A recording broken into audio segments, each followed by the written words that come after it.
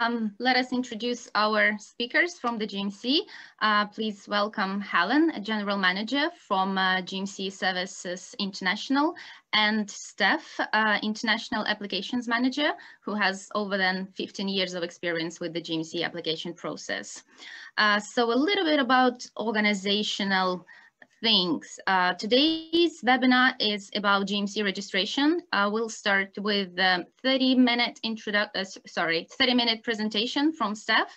And after that, uh, we will go to our questions and answer session. If you have any questions uh, throughout the whole webinar, uh, you can put them in the chat. We will not answer the question during the presentation so that we don't disrupt uh, the flow. Uh, but don't worry, we will go back to you as soon as we can with the answer to your question. Uh, this just to remind you, this webinar about the GMC presentation, sorry, GMC uh, registration process, all the questions about PLAB, PLAB 1, what PLAB is, what, what kind of exam it is, we will answer during our second webinar, which starts at 12.05.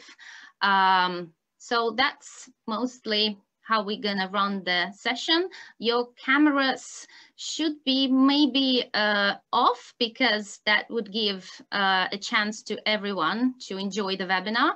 You will be muted uh, during the webinar, so you can just ask the question in the chat box. Um, Steph, I'm just handing it over to you. Good morning, everybody. Um, I'm very, very pleased to be here talking to you today. Uh, and um, I look forward to sharing um, information on you about how to plan and prepare to apply for registration with the GMC. I just want to point out one thing. All of the information and the that I'm going to give you today is actually already at your fingertips on the GMC website.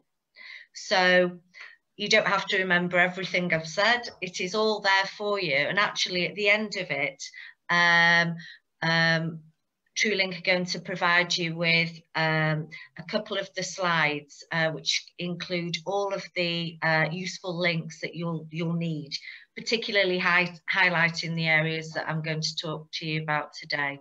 So what I want to do is to help you to have a really smooth and easy process when you're applying for registration.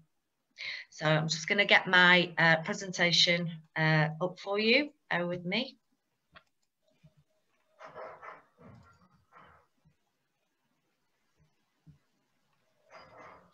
Okay, so as Julia said, uh, I'm the International Applications Manager at the General Medical Council. Uh, and I work with registration and I'm responsible for registering um, all overseas doctors.